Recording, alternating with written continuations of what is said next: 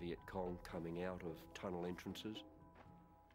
We'd be, have to be very careful how we got onto the next level because if you put your head down and there was a, an enemy soldier down there, he would pike you through the throat with a steel pike.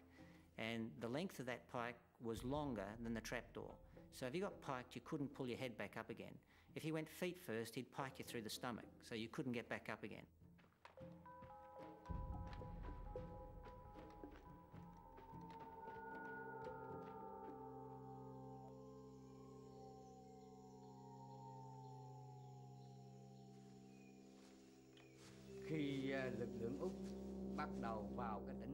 When the Australians first came, we didn't know their intentions. Our superiors gave the order to lure them out, to learn their way of combat. The second order was to attack them.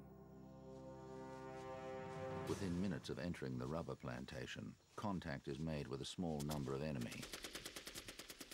I fired a couple of rounds and knocked over a bloke, and of course, confusion reigned supreme for the next three or four minutes. One of the three platoons pursue the fleeing Viet Cong, but they become isolated and are suddenly trapped by a large enemy force.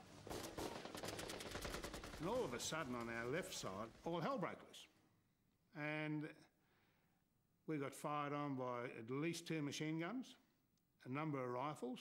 There was that much noise. You couldn't hear, like you're yelling out to your mates if they were okay. But the noise was that, that bad. You could not move any more than three or four metres without attracting attention. As soon as you moved, Charlie saw you and started to bloody open up. The enemy fire, they, they were coming from the trees, from the ground. Bob Buick later reported, not very long into the battle, that uh, Gordon had been killed and that Bob had taken over command. Gordon Sharp got hit in the throat and died instantly. Uh, that dropped me in a big bucket of shit because all of a sudden I'm looking after this crew. There's no shoot and scoot today. The Australians are being attacked by a growing force of highly trained soldiers who already outnumber them by more than 10 to 1.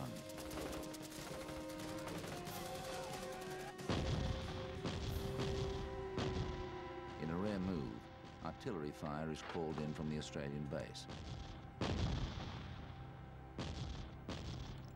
It's tricky and dangerous because these shells must fall with pinpoint accuracy from more than four kilometres away. This is an element that we had never expected. Artillery to, to, us was something that we dropped in the rear of the enemy, hoping to catch them while they were running away from a, from a firefight.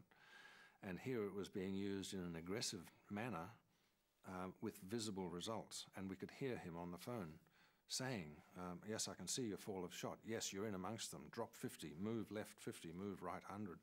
Uh, he was directing artillery on to enemy.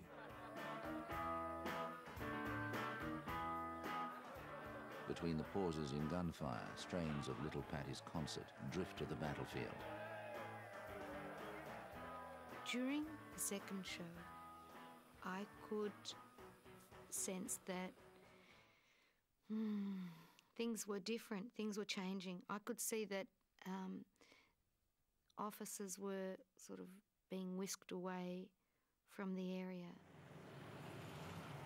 Suddenly, you could hear these radio calls coming in, and it was about this time the most vivid thing I remember was that Harry called, If you don't get help out to us soon, we're all gone, and you'll go next. Ammunition is now dangerously low, and despite artillery support, the Australians are fighting for their lives. We all got holes in our shirts and our little bush hats. There were guys being hit. I was just talking to uh, Shorty, and I just asked Shorty, I said, um, you know, how, where's Doug? And he said, oh, Doug's dead. And that's when I saw Shorty um, get hit by a big burst of um, automatic fire. The men in the heat of the Battle of Long Tan were typical of Australian soldiers serving in Vietnam at that time. More than half were regular army, and the rest were national servicemen.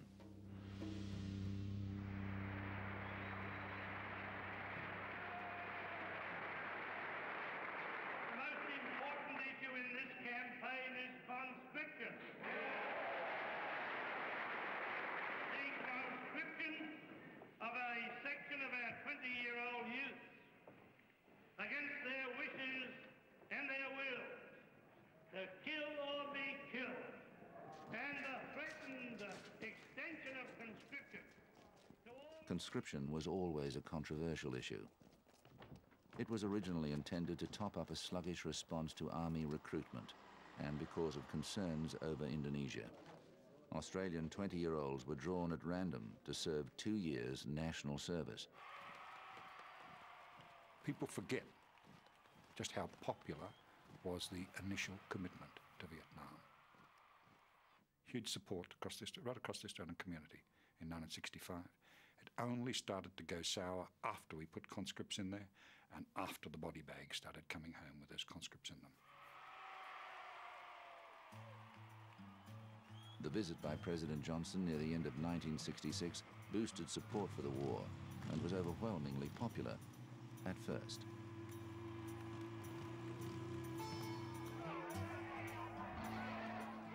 Following the Johnson demonstration, uh, I could say that I was leaning towards an anti-war position.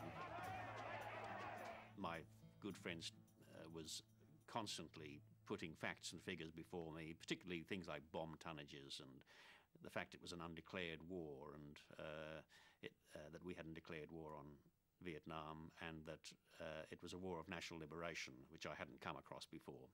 So these kinds of arguments were gradually winning me over, but my memory of things is that we were more interested in large abstract ideas like pacifism and freedom and so on, and the Vietnam War and the conscription issue were filters through which we uh, we argued out these grander things. We were, after all, 17 and 18 years old, and uh, solving the world's problems was one of the things that one does at that age.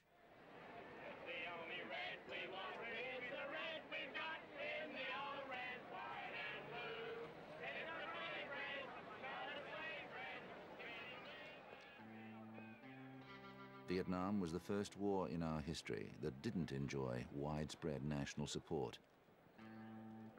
And the protesters who were making their way to the streets were not those who normally insisted on a voice.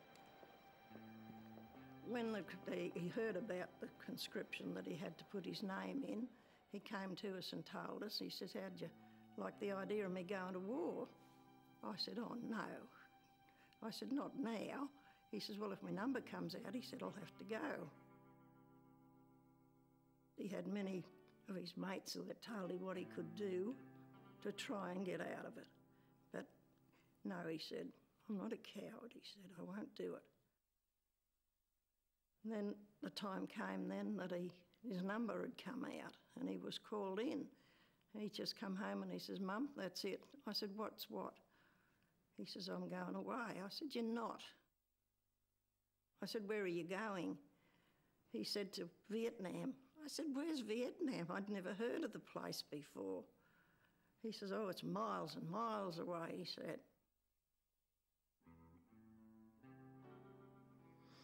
As far as the conscription was concerned, I, I didn't like the idea of it, but then again, I thought the boys need training. I thought they should train, but not to send them away. I don't think they should have been sent away.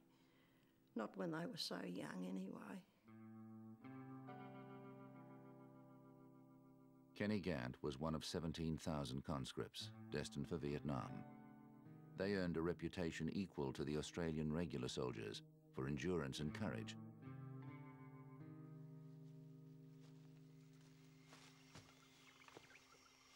Whether national serviceman or regular, the duty that greeted most soldiers was patrolling, walking the weeds, questioning and constantly searching for the enemy.